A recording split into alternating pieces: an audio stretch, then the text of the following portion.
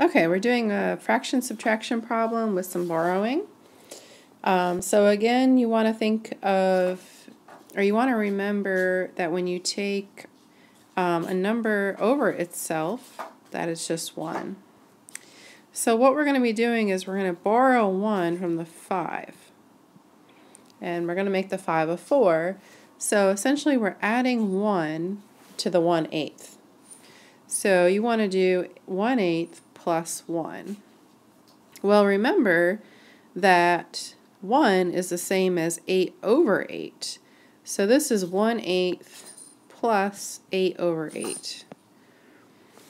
And the reason why we choose 8 over 8 instead of 9 over 9 or 2 over 2 is because we want to have the same denominator. So this is 9 over 8.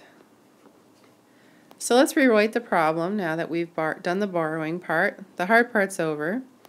What we have is 4 and 9 over 8 minus 4 and 5 over 8. Well, 4 minus 4 is just 0, and then 9 minus 5 would be 4, and then you keep the same denominator. Don't forget to reduce, this would be 1 half.